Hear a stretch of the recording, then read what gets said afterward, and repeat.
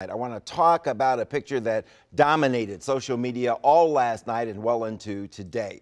We aren't going to show the picture to you because the two girls are minors, but they snapped a selfie of themselves in blackface and then called themselves the N word. The girls attend the affluent Walt Whitman Senior High School in Bethesda, Maryland, and according to a parent, they have been suspended from school for one week.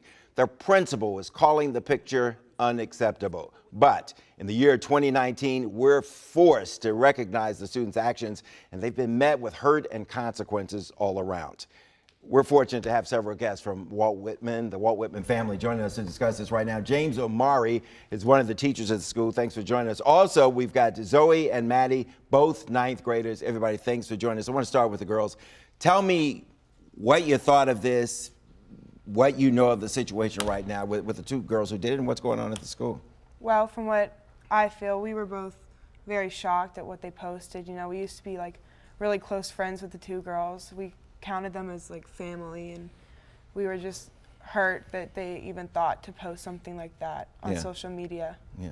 Was it a thoughtless gesture in your mind, or, or did, did they really know what they were doing? I thought that they considered it to be a joke, and I don't think they realized that it wasn't funny. And us um, students at Whitman were taking this seriously, and we're very hurt about what happened, especially because of the derogatory term that they used in the post and posing in blackface. Yeah. I know they use that word in, in, in the music, okay, but it's not acceptable even to the young people, right? You don't u- use that kind yeah, of word. Yeah, no. Okay. Um, what, what's the atmosphere at the school right now? Wait, b- b- between white, black students, Hispanic students, what, what's the atmosphere? It's there's a lot of white students at Whitman. I feel like um, personally, I feel like uh, everyone sticks to their own group in a way. Um, you know, there's only uh, from a study there's only five percent blacks uh, in Whitman, so I feel like there's a big strong. And I feel like there's a lot of racial tension at Walt Whitman High School. And as an African American student in the in the four percent of Black students in this school, I feel I feel like I don't belong, and I feel like a lot of teachers at this school as well don't really understand or try and target what's going on in the situ- in situations at the school or try and and what happens in classrooms with racial jokes mm-hmm. and stereotypes that people throw around at the school. But before we get, get to the teacher, I want to take a look at the breakdown of Whitman's high school in terms of demographics. White students make up close to 67% of the student population. Asians are second with 15%. Hispanics third, a shade under 8%. Black students make up just 4% of the school. Let me turn to the teacher here. How does that perpetuate itself? I mean, I mean, what does that feel like?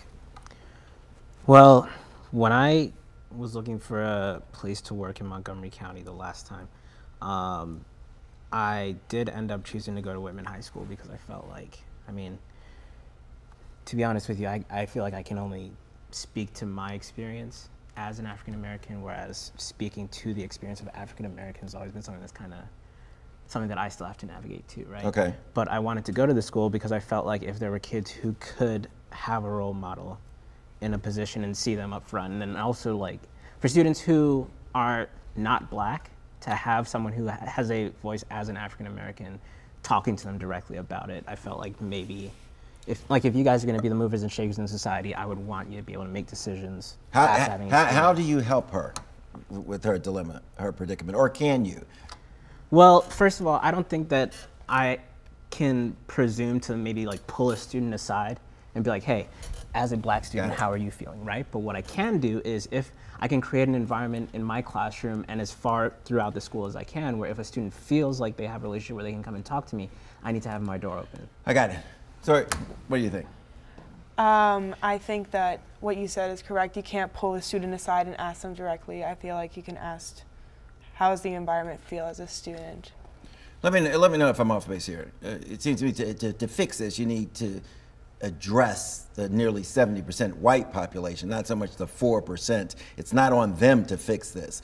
What, what are we doing with that nearly 70% white population uh, of, you know, to make them more sensitive? To, to- do they understand what blackface is? Do, do, do they understand that you can't use the N word? How do we make them more sensitive? Um, personally, I feel that students don't have the back. I mean, they know what blackface blackface is, but I don't think they have the background information of how it made African Americans feel at the time. And I feel like as a school, we should be more educated on that history, that part of history. Yeah. You- You agree with that? I agree that And that's on the administration, right? I mean, to Yes. fix Yes. that, right? Okay. What, what else can they do? I mean, you got them right here. They're watching. I know they're watching out there. Talk, talk to the principal, talk to the administration. What else can they do?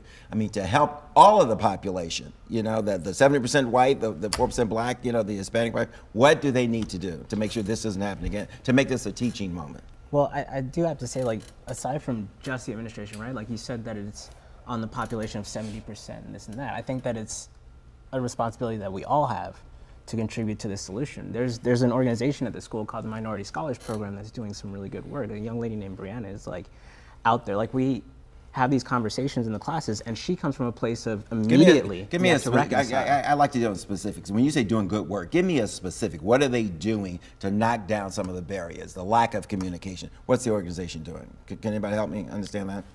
Well, actually, right now, if I may, uh, Yeah. right now, MSP is going through the school all this week and like having presentations that they pulled together to address what this "We Are Whitman" Yes. sentiment. Yeah, right? parents are looking right now too, and they want answers. Okay, parents are talking about pulling their kids out. You know, uh, uh, you know, what are they going to do? What what do they say to their parents? What can parents do right now? I feel like they could write into Whitman and address how they feel. Um, I feel like they could pull their child aside and have a deep conversation with them about how serious this problem is and that what they post online isn't just private. Like it, it goes Right. out to the world. Right, and and make sure they know the history. Yes, you know, blackface, sure. the N word, why that is so hurtful to people.